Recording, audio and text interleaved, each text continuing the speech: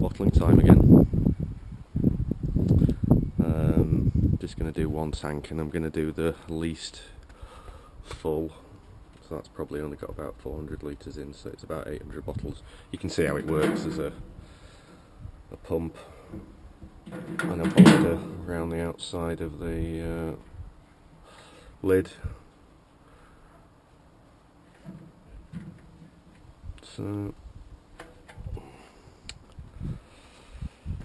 not looking forward to it. It's the worst bit of cider making actually is bottling when you've got large amounts, it just goes on forever. There's no way to really make it go any quicker unless you've got more people. Um, and it's just a case of rolling your sleeves up. It's about 11 o'clock and I'm probably going to be going on till about 5 or 6. But it's hot, so I'm going to have to watch out for getting sunburnt. I suppose there are worse things to do.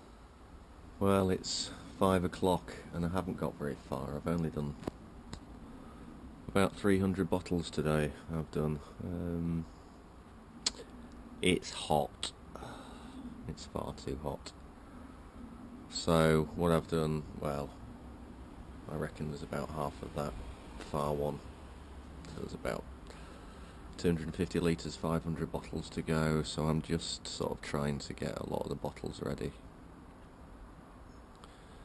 for today clean them all, get them all in the boxes, and then have another go at it tomorrow and try and finish it all off.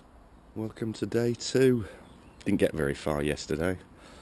Uh, I only managed 300 bottles of still, but what I did overnight was um, I've put some essentially sugar um, into the cider and mixed it I've put a little bit of yeast into the cider and mixed it. So I've given it a head start when making the sparkling and there's 250 litres in there so I'm going to be doing 500 bottles. So it's primed.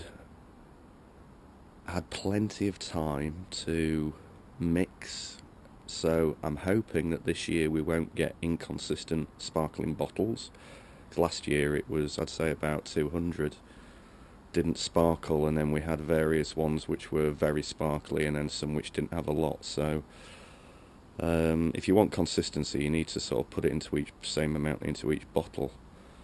Um, but I'm trying uh, trying a different way so basically just sitting tight half an hour waiting for it to all settle down and then I'll start um, start bottling again. And I think I'm about 70 or 80 bottles short so I'm gonna have to go down to the lockup and get some more so, off we go.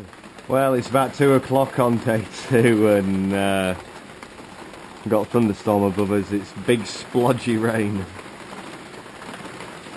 It's what you get when the temperature hits 30 degrees centigrade. So, yeah, cold off. Bit rubbish. Tried to cover things up. Not very well. It'll dry side is safe it's sealed. It's quite funny.